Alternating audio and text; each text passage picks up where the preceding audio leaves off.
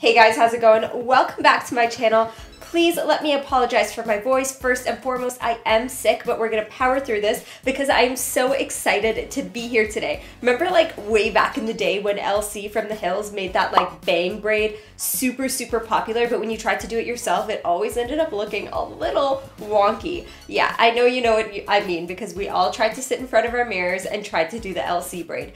But I have a solution for you guys. So Madison Braids recently approached me and asked me if I wanted to collaborate on a video and I said absolutely yes.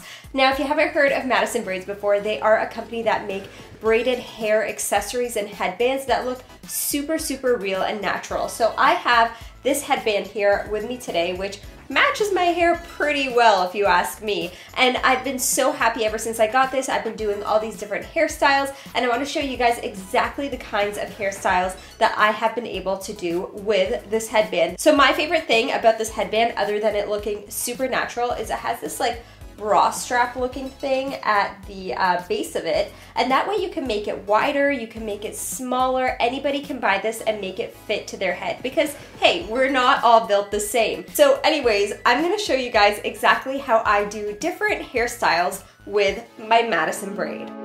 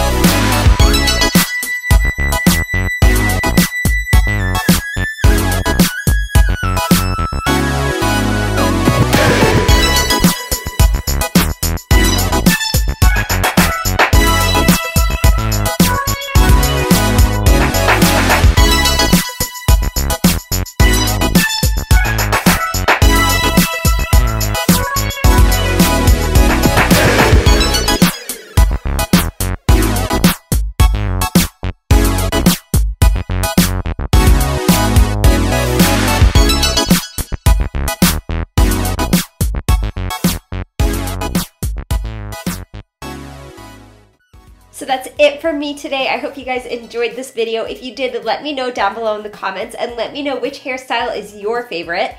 Don't, ugh, ugh, what was that? Don't forget to check out Madison Braids. I have all the information down below in my description box. And while you're down there, hit that thumbs up button and don't forget to subscribe to my channel. I upload every single Wednesday. So until next week, I'll see you guys later.